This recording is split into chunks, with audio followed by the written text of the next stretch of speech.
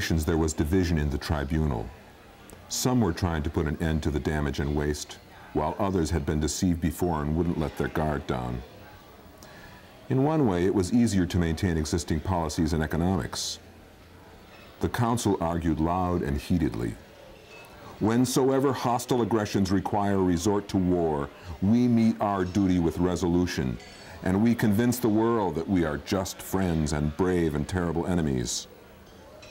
To sustain our strength and freedom from those that would enslave us, to defend the values we hold close to our hearts, to stand up for what we believe is right,